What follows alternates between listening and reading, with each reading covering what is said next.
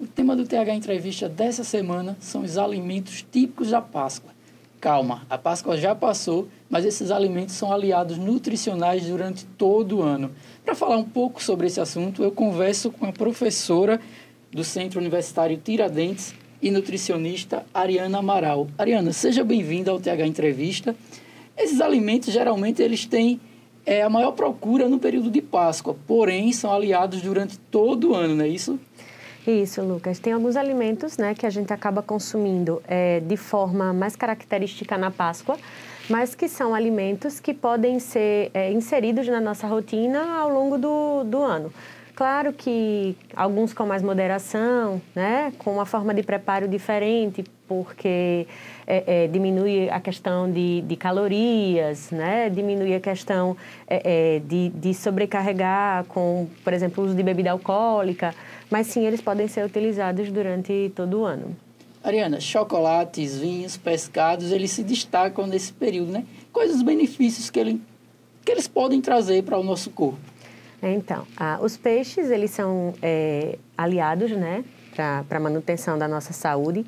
As carnes brancas, em geral, elas têm é, uma quantidade de proteína muito satisfatória, além de ter outros nutrientes, como ômega 3, como ômega 6, que acabam fazendo bem para a nossa saúde. Na Páscoa, a gente costuma utilizar é, é, bacalhau e outros peixes, né? só que as preparações elas acabam sendo mais calóricas por, usar, por utilizar leite de coco, muito azeite, que apesar de ser um alimento é, também com propriedades muito benéficas, ele tem calorias e a gente precisa dosar essas calorias ao longo do, né, da nossa é, é, dieta, da nossa rotina. E é, o problema é quando a gente acaba abusando um pouco dessa quantidade. Tá? Principalmente para aquelas pessoas que estão acima do peso, para aquelas pessoas que é, é, têm alguma dislipidemia, para aquelas pessoas que estão tentando emagrecer, para aquelas pessoas que são diabéticas, hipertensas. Então a gente precisa ajustar isso na nossa rotina.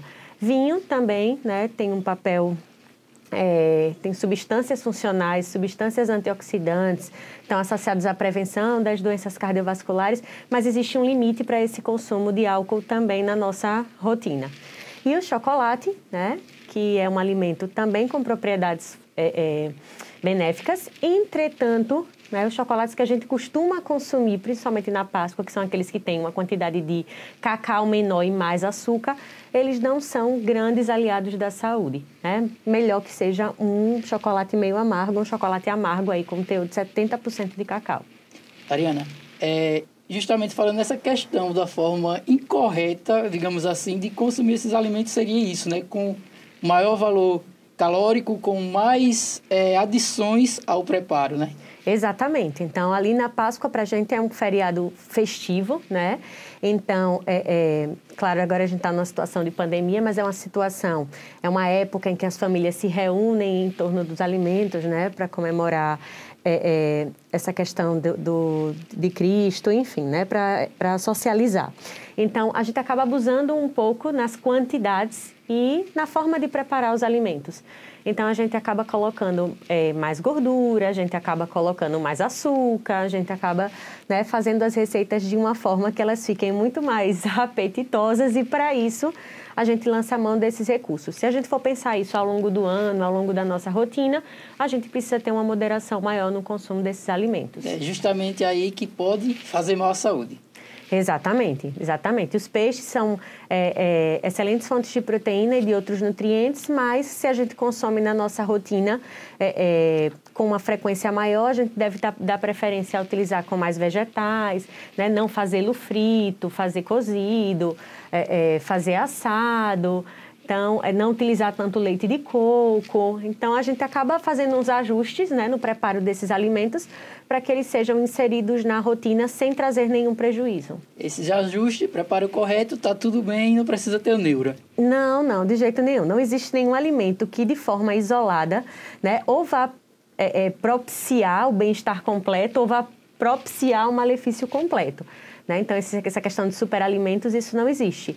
A gente precisa mesmo inserir os alimentos numa rotina balanceada. Ah, eu gosto muito de, de chocolate. Bom, não precisa comer a caixa inteira, a barra inteira, né?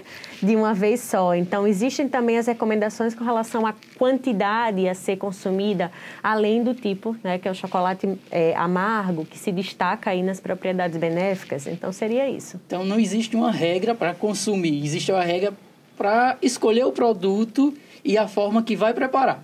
Isso. Existe também a questão da individualização, né? Então, cada indivíduo é um universo, cada indivíduo tem suas características próprias, de acordo com seus objetivos, de acordo com as doenças que tenha ou não. Então, toda essa limitação de consumo e essas recomendações vão estar relacionadas né, à individualidade. Então, por isso que é sempre importante procurar um profissional é, é, de nutrição, procurar um serviço que atenda né, é, é, que atenda essa questão da individualidade quanto aos, quanto aos aspectos nutricionais do, do indivíduo. Né? No Centro Universitário de Tiradentes, a gente trabalha com esse atendimento ao público de forma gratuita, é, realizando esses ajustes de acordo com as necessidades por faixa etária, por público, por patologias. Então, o importante é sempre buscar ajuda, né? quando a gente não sabe direito ou não sabe muito bem o que é que a gente deve escolher na nossa alimentação. Helena, você falou de, da questão da faixa etária, um ponto importante. Nessa época, a criançada ela não fica sem, sem o ovo de Páscoa, sem os chocolates no geral. É como é, convencer ou conversar com a criança que não pode consumir muito. É, então, é, eu acho que existe muito o lúdico em torno também né, da figura do coelho da Páscoa, da simbologia em torno da, da, da Semana Santa, em torno da Páscoa. É, na verdade, eu acho que a gente pode é, ajustar essa parte lúdica para a criança. Então, é, a gente pode ofertar, sim, claro, né, ali aquele momento de diversão, de abrir um ovo de Páscoa, né? Mas escolher um ovo que tenha, que seja de um tamanho menor, que tenha mais alguma coisa que, que vai entreter a criança, que não apenas o, o chocolate, né? É, depois de uma certa idade, consumir, mas consumir com moderação, né? Um nutricionista é, é, da parte materno-infantil, ele talvez ajude melhor nessa questão de que quantidades. Mas crianças até dois anos não devem receber doces. Então, talvez dar um coelhinho, né? De pelúcia, algo que mantenha a simbologia do momento, né? Preparações, hoje em dia a gente tem muitas receitas e muitas preparações é, à base de ingredientes naturais que podem suprir essa necessidade, né? Por, por, consumir, por dividir o momento, mas sem precisar ofertar à criança um alimento que não deve ser consumido por ela ainda naquela idade. Ariana, o nosso bate-papo ele está chegando ao fim. É um bate-papo bem rápido.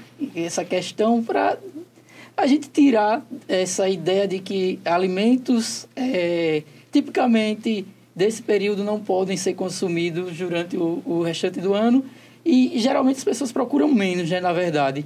Mas não precisa ter neuro, pode consumir a forma correta, sempre com moderação e um preparo legal né, para o alimento. Isso, então, que a gente, enquanto nutricionista, que não promove essa questão né, de, de terrorismo nutricional, é dizer que a gente precisa aproveitar o momento, a Páscoa, né?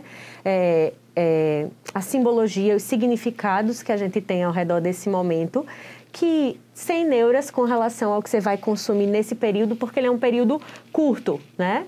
É, o, que, o que vai determinar a nossa saúde, o que vai determinar é, é, a questão das nossas escolhas e o quanto isso vai impactar na nossa vida é realmente aquilo que a gente faz durante a rotina. Então, além disso, né, voltar a praticar exercício físico, regular, é, ter escolhas alimentares mais saudáveis, independente apenas dessas opções, isso é o que é essencial para a gente manter a nossa saúde. Ariana, obrigado mais uma vez Eu pela sua agradeço. participação.